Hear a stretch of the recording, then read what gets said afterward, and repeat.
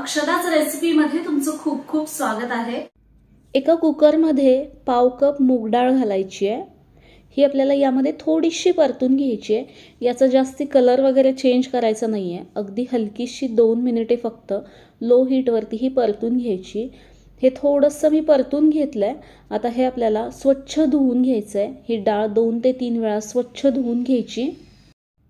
डाळ धुवून त्यातलं पाणी काढून टाकायचं आणि परत त्यामध्ये आपल्याला दोन कप पाणी घालायचं आहे त्यामध्ये अर्धा चमचा तूप घालायचं आणि याला झाकण लावून लो टू मिडियम हीटवरती याच्या दोन शिट्ट्या करून घ्यायच्या आहेत डाळ शिजतीये तोपर्यंत आपण बाकीची तयारी करूया.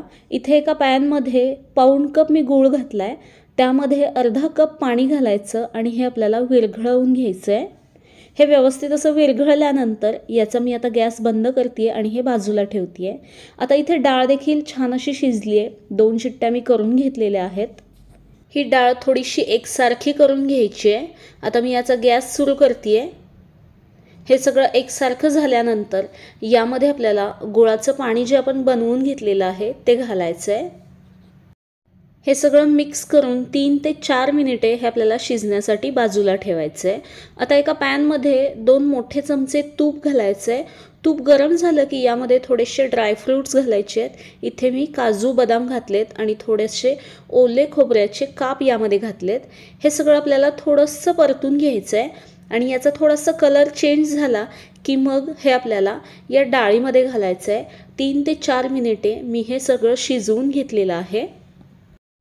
हे सगळं छान एकजीव झाल्यानंतर हे परतून घेतलेले ड्रायफ्रूट्स यामध्ये घालायचे आहेत आणि यामध्ये एक अर्धा चमचा वेलची पूड घालायची आहे.